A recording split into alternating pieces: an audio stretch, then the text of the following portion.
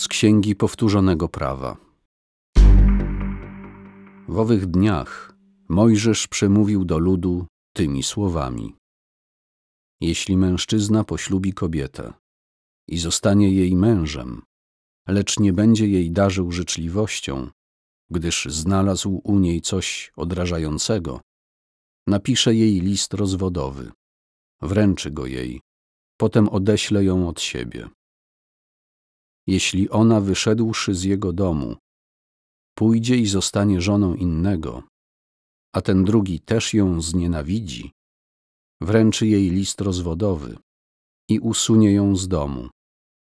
Albo jeśli ten drugi mąż, który ją poślubił, umrze, nie będzie mógł pierwszy jej mąż, który ją odesłał, wziąć jej powtórnie za żonę, jako splugawionej. To bowiem budzi odrazę u Pana, a Ty nie możesz dopuścić do takiej nieprawości w kraju, który Ci daje w posiadanie Pan, Bóg Twój. Jeśli mąż dopiero co poślubił żonę, to nie pójdzie do wojska i żaden publiczny obowiązek na niego nie przypadnie, lecz pozostanie przez jeden rok w domu, aby ucieszyć żonę, którą poślubił. Nie wolno brać w zastaw kamienia młyńskiego górnego ani dolnego, gdyż tym samym brałoby się w zastaw samo życie. Jeśli znajdą człowieka porywającego kogoś ze swych braci, z Izraelitów, czy sam będzie go używał jako niewolnika, czy go sprzeda, taki złodziej musi umrzeć. Usuniesz zło spośród siebie. Bardzo pilnie uważaj na plagę trądu, aby uczynić wszystko, o czym was pouczą kapłani lewici. Co im zleciłem, tego pilnie będziecie przestrzegali. Przypomnij sobie, co Pan, Bóg Twój, uczynił Miriam w drodze, gdyście wychodzili z Egiptu.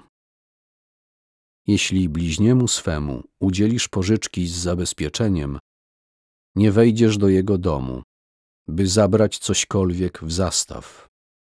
Na dworze będziesz stał, a człowiek, któremu pożyczyłeś, wyniesie ci ten zastaw na zewnątrz.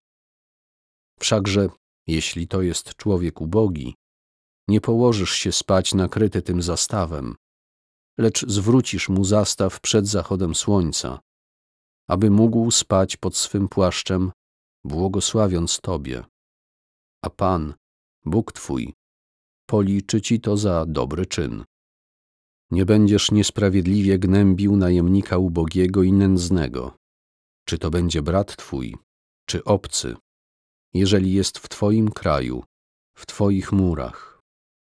Tegoż dnia oddasz mu zapłatę, nie pozwolisz zajść nad nią słońcu, gdyż jest on biedny i całym sercem jej pragnie. By nie wzywał Pana przeciw Tobie, a to by Cię obciążyło grzechem. Ojcowie nie poniosą śmierci za winy synów, ani synowie za winy swych ojców. Każdy umrze za swój własny grzech. Nie będziesz łamał prawa obcokrajowca i sieroty, ani nie weźmiesz w zastaw odzieży od wdowy. Pamiętaj, żeś był niewolnikiem w Egipcie i wybawił cię stamtąd Pan, Bóg Twój. Dlatego to ja Ci nakazuję zachować to prawo. Jeżeli będziesz żołwę żniwa na swoim polu i zapomnisz snopka na polu, nie wrócisz się, aby go zabrać, lecz zostanie dla obcego, sieroty i wdowy, aby Ci błogosławił Pan, Bóg Twój, we wszystkim, co czynić będą Twe ręce.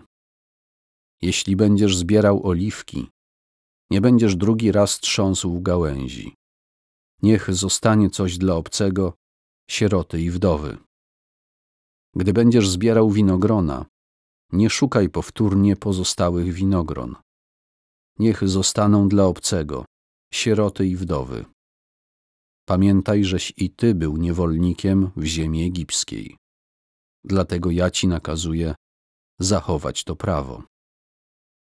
Jeśli wyniknie spór między ludźmi, staną przed sądem, tam ich osądzą i za sprawiedliwego uznają niewinnego, a skażą winowajcę.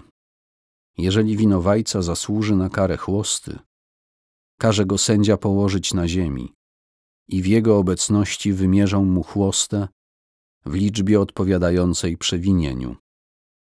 Otrzyma nie więcej niż czterdzieści uderzeń, aby przez mnożenie razów ponad tę liczbę chłosta nie była nadmierna i nie został pohańbiony twój brat w twoich oczach. Nie zawiążesz pyska wołowi młócącemu.